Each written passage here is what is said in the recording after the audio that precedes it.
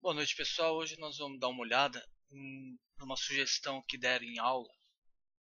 É, os garotos precisavam gravar uma cena e eles tinham dois períodos, um período mais antigo e um período atualizado. Aí eu dei a sugestão deles transformarem o vídeo num vídeo, por exemplo, de Super 8. Que o Super 8 ele tem uma qualidade de filme muito diferente das câmeras atuais. Então eu usei como exemplo o vídeo desse camaleãozinho, que é mais ou menos isso daqui que vocês estão assistindo, o vídeo dele, tá? E o resultado final desse vídeo aqui do camaleãozinho ficou esse vídeo aqui desse camaleãozinho que eu fiz usando técnicas de de efeitos, né, contidos no próprio After, para a gente ver como ficou. Então vamos entender como é que ficou.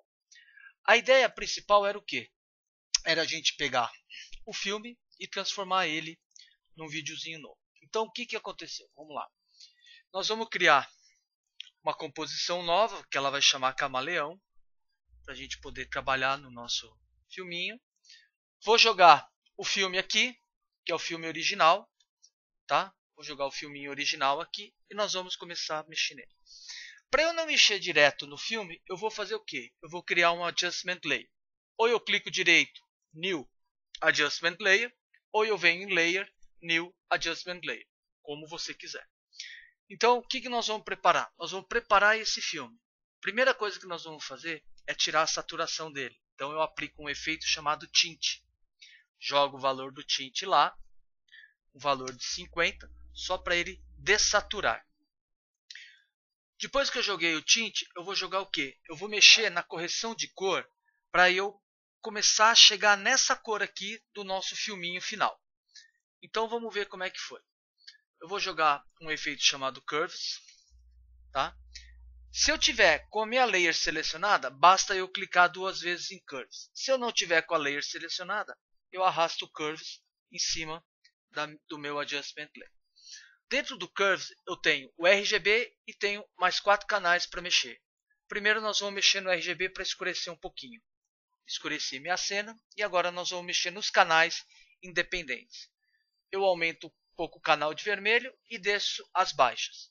Vou no verde e faço a mesma coisa. Aumento as altas e retraio as baixas. E o azul é o inverso. Em vez de eu subir, eu desço as altas e subo as baixas para ele dar essa coloração. Se ele ficou muito azul ou muita coisa, a gente volta a mexer nesse cara aqui. Para deixar um pouquinho mais assim. E aqui eu tenho o meu videozinho já com a cor tirada. Tá? Feito isso, o que, que eu posso mexer agora? Eu posso jogar nesse Adjustment Layer um noise, né? ou um grão, imitando um filme. Então eu vou pôr Add Grain arrasto aqui para dentro dele, tá? E eu tenho o meu preview aqui. Como eu não quero preview, eu quero final output, eu jogo o valor dele e vou mexer no presetzinho aqui. Posso usar um Kodak, posso usar um Istmo, aí eu vejo qual o valor de grão mais propício para eu usar, o que fica melhorzinho. Então eu vou usar este Color Negative, que ele é um pouco mais suave, tá certo? Então aqui eu já comecei a mexer no meu videozinho. Posso tirar um pouco mais do Adjustment Layer, da curva dele, tá? a curva do verde. Posso abaixar um pouquinho mais essa curva de verde. Posso subir um pouquinho mais. Vou mexer no azul aqui. Posso descer um pouquinho no azul. Subir o azul um pouco. Subir aqui um pouquinho. Tirar um pouquinho aqui. Beleza. Feito isso, agora eu vou mexer em algumas outras coisas. Eu vou jogar em cima do filme um, uma camada sólida que eu vou fazer as linhas. Sabe aquelas linhas que os filmes antigos têm? Então, como eu faço isso? Crio um New Solid na cor preta. Deixo lá o pretão dele. Confirmo aqui, escrevo ele sendo as linhas. Mando um OK. E ele vai ficar embaixo do Adjustment Layer. Então o Adjustment Layer vai ficar sempre paradinho lá. As minhas linhas vão ser em add, vão ser adicionadas. E eu vou jogar um efeito aqui nela chamado de fractal noise. Arrasto fractal noise para cima das linhas e ele me monta essa coisa aqui super bonita. Então o que, que eu faço? Eu aumento o contraste, ponho um valor de 250 no contraste e um valor negativo no brilho, para ele ficar só com essas manchinhas aqui. Posso aumentar um pouco mais o contraste, tá? E vou deixar essas linhas aqui paradas.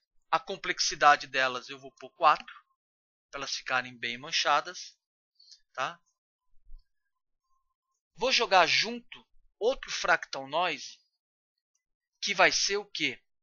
Vai ser as minhas linhas de efeito. Então eu vou pôr um valor de 15.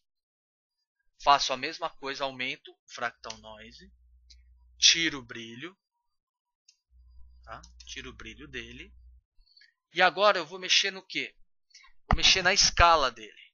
Essa minha escala não é uniforme, é uma escala individual onde eu ponho o valor de y em zero e o valor da outra escala eu aumento. Vou pular uns 10 mil. Tá ótimo, 10 mil. Para ficar apenas essas linhas aqui, ó. Só para ficar um pouco ranhurado. Tá? Aí o que, que eu vou fazer? Na evolução dele, eu vou ligar o Alt Click para eu selecionar o script. O meu script para esse cara vai ser time asterisco 150. Ou seja, no intervalo de cada 150 frames, essas linhas vão se mexer. Então vai ficar algo parecido com isso aqui. Ó. Elas vão sendo mutantes. E se vocês perceberem, a evolução aqui, ela muda também. Tá certo? No outro meu fractal noise, o que, que eu posso fazer? Eu vou pegar esse fractal noise, tá? E vou fazer o que na opacidade dele? Vou pôr 50 no valor dessa opacidade e vou mexer na evolução também. Vai ser time, asterisco, posso pôr vai a cada 100. E ele vai mexendo a cada 100. Tá certo? O blend dele vai ser o que? Vai ser add ou ele pode ser um blend de screen. Ou seja, um vai ter que sobrepor ao outro. Se ele não estiver aparecendo, eu jogo ele para baixo. E esse daqui que está em cima, eu coloco o que nele? Um valor, o blend nele, adicionar o blend nele. Tá? Então eu jogo esse cara aqui, devolvo ele aqui para trás, né? Para eu poder ver o que eu estou fazendo. Tá vendo que apareceram as manchinhas? Ó. As manchinhas estão aparecendo. Olha lá. E o meu e o meu camaleãozinho está começando a ganhar um jeitinho de de, de filme velho. Tiro o valor dele em 50%. O valor do outro fractal eu desço também, eu ponho 25%. Tá? A complexidade dele eu posso pôr mais alta, porque eu quero que ele fique nítido mesmo, ó, essas manchas existentes. Tá? E agora eu vou criar o que? Eu vou criar um efeitinho de vignette, ou seja, aquele escurinho que aparece aqui em volta. Vocês já viram? Então vamos ver como é que se faz isso. Crio um novo sólido, Ctrl Y, e vou dar o nome dele de vignette. Vignette é um efeitinho que já existe há muito tempo. Tá? Vai ser jogado embaixo do Adjustment Layer para que ele apareça. E eu vou jogar um, uma máscara circular. Estou com a máscara circular, clico duas vezes, clico duas vezes na máscara, ele vai jogar ela aqui em cima. Inverto, aperto F e vou mexer no feeder da máscara. Para que ele fique bem, bem legalzinho aqui. Essa máscara eu vou ligá-la, que eu vou ampliar.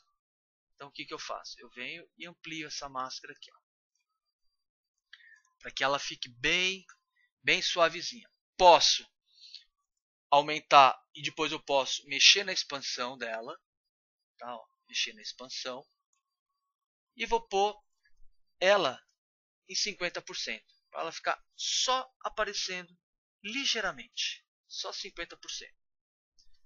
E eu já tenho praticamente o meu filme pronto, meu filme velhinho, aí bonitinho, engraçadinho.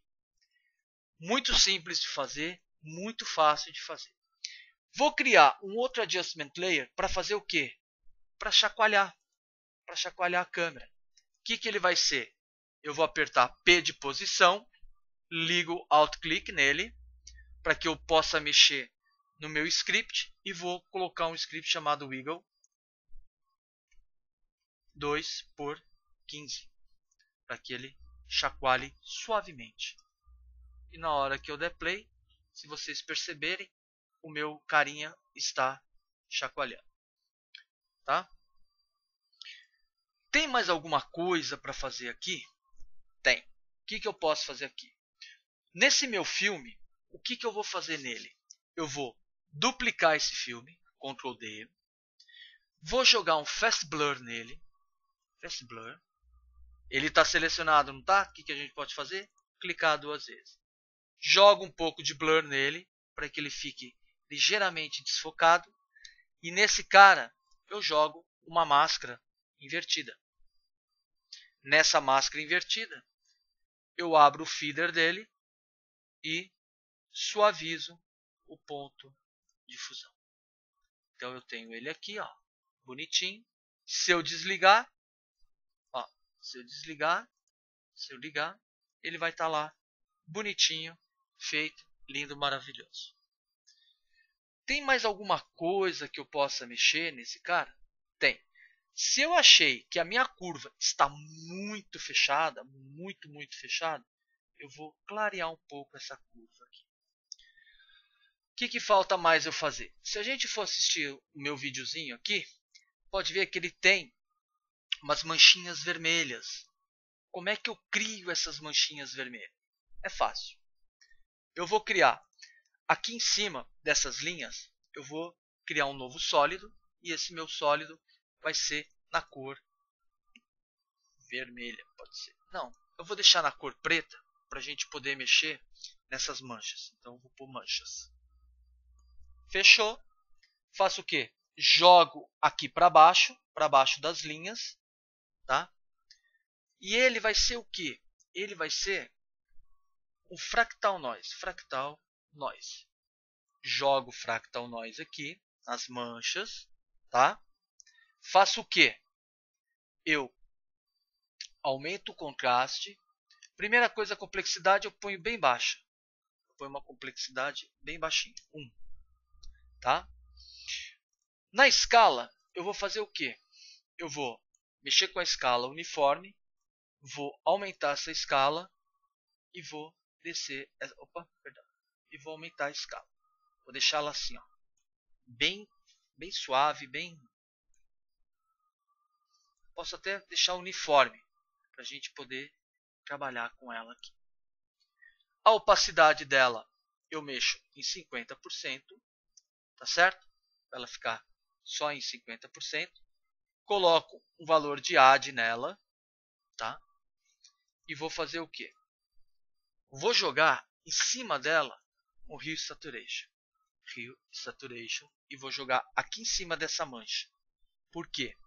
porque eu vou abrir o colorize dela. Vou aumentar esse colorize dela aqui, tá? Ela vai ser apenas screen, só para que só que ela conste que ela está aqui, tá certo? E nessa mancha aqui, ó, eu faço o quê? Mexo o evolution dela, abro com alt, alt click e faço o quê? Time, asterisco, vou 200. Só que é time, né? Timei. Timei é chinês, coreano, sei lá o que. Time. Feito isso, o que, que eu tenho aqui? Na hora que eu der play, as manchas vão ficar, a minha peça vai ficar bonita, tá? E que mais que eu posso fazer aqui? Posso aumentar o contraste? Posso diminuir o contraste? Posso ver aqui que eu faço. Aumento o brilho. Vamos tirar o brilho aqui e aumentar o contraste aqui. A partir disso, eu tenho o meu projetinho feito. Então vamos ver como é que ficou. Ele está numa tonalidade mais antiga, numa qualidade mais de Super 8 e eu consegui o efeito que eu queria. No processo simples, rápido, que a gente não demora mais que 10 minutos para fazer. Tá?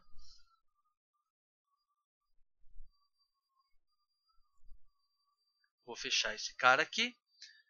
Feito isso, tá tudo bonitinho. Eu posso pegar esses dois caras aqui e fazer uma pré-comp dele, chamada filme. Para deixar lá guardadinho. Se precisar mexer nele, eu clico duas vezes e mexo só nesse filme. Ó, mexo só nesse filme aqui. Tá vendo aqui, ó, não sei se dá para perceber, mas ele tem a o, o feederzinho da máscara. Posso mexer na máscara um pouquinho mais do feeder dela. Vou tirar um pouco aqui, ó. Pronto. Deixa eu ver se, se a expansão tá certa. A expansão tá bacana, tá tranquilo. Ok. O meu camaleãozinho tá aqui. Ó. Esse eu mudei um pouco, deixei ele um pouquinho mais colorido. Esse aqui eu deixei mais frio, tá? Mas o, as manchas, as linhas, os adjustment layers, os vignettes estão todos certinhos. Tá? Posso jogar esse vignette aqui em cima para deixar ele mais clarinho. Aqui é o balanço da minha cena. Se eu for lá em Position e abrir aqui, ó, eu tenho a minha expressão. Se eu colocar um valor de 5 aqui, ele já vai ficar um pouquinho mais pesado. Vamos render para ver como ficou isso aqui. E o nosso projeto está devidamente terminado. Tá? Ctrl M para a gente fechar esse, esse ciclo aqui. Composição layer, é,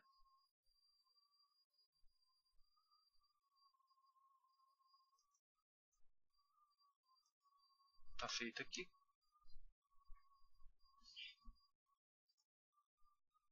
Fecha esse cara. Deixa eu fechar esse cidadão aqui. Posso fechar esse aqui que eu não vou usar. As minhas linhas estão devidamente certinhas. Só que essa mancha aqui, ó, ela não está chacoalhando. Então vamos ver o porquê que ela não está chacoalhando. Eu tenho esse fractal noise. Vamos lá, na linha. Eu tenho lá. Essas são as linhas que estão mexendo. E esse daqui são as minhas manchas que não estão mexendo. Vamos ver o porquê que a evolução dela não está devidamente de acordo. O, abro aqui, tá? Vamos ver lá, time 150 e vou pôr time 100.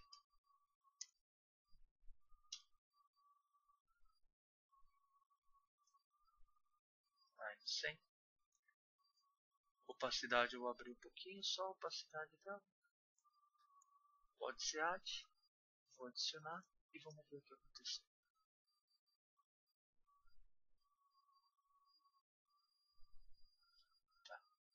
Então ele pode ser dynamic e aí vamos ver o que, que ele vai fazer.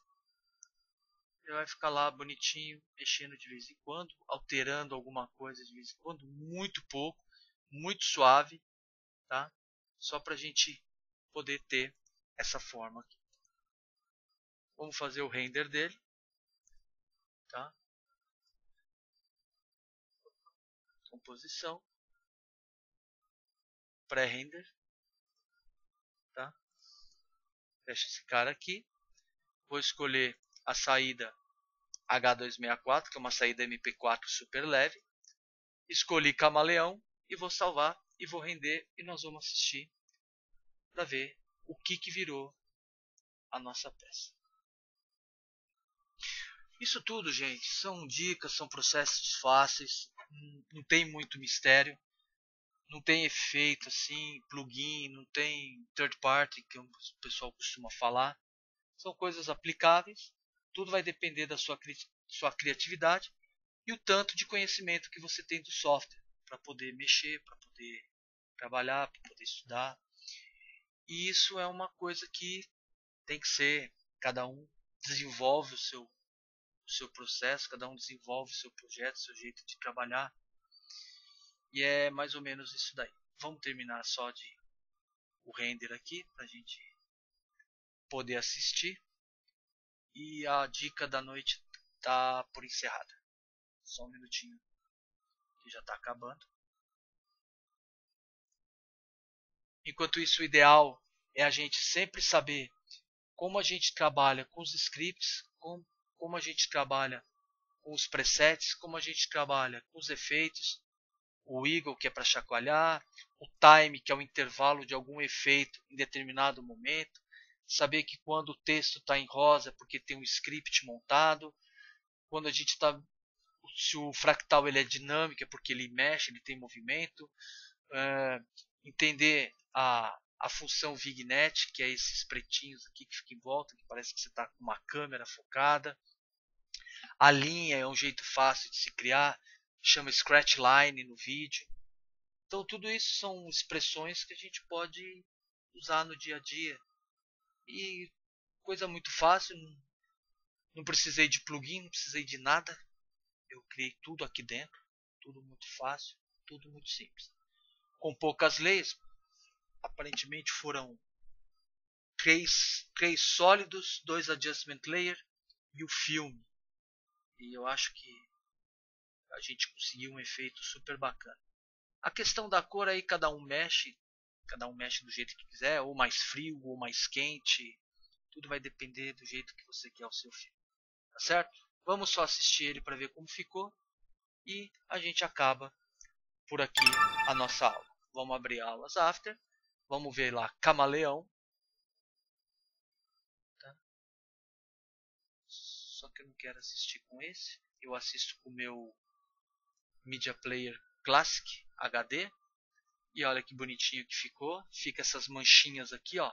Se quiser tirar, eu acho até melhor tirar, porque ficou meio fake, mas a ideia principal é essa, é que a coisa funcione.